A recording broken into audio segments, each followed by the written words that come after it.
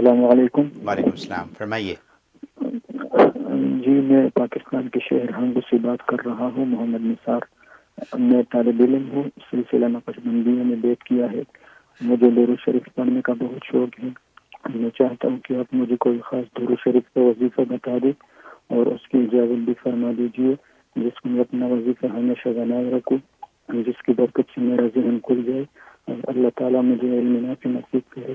اور شہید اسلام مولانا یوسف لیان قدس رہو اور آپ کی جو انوار و برکات ہیں اللہ وہ مجھے سب نصیب کرے اور آپ کی طرف اور آپ سے نسبت بھی حاصل ہو جائے۔ والسلام۔ بہت شکریہ آپ کی کال کا۔ جی۔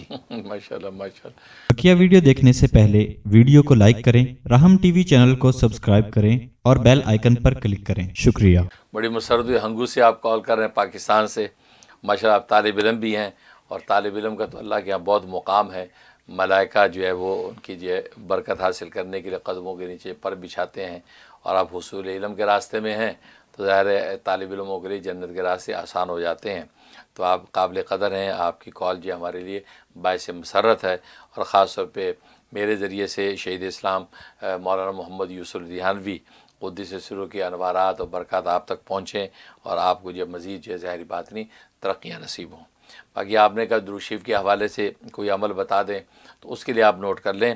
وہ دروشیف میں اکثر بتایا کرتا ہوں، وہ دروشیف آپ نے روزانہ یا وہ جتنی تعداد پڑھ سکیں، ایک سو پچیس سے کم نہ پڑھیں۔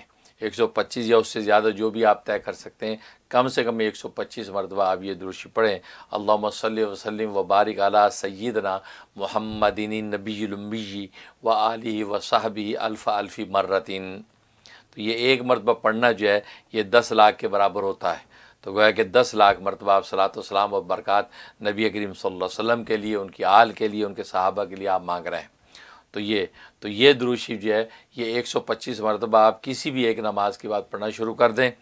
اگر اس سے زیادہ کی تعداد کر سکتے ہیں، لیکن آپ طالب علم ہیں، اس طالب علموں کو اپنی مطالعہ اور یہ تکرار سے وقت کم ملتا ہے۔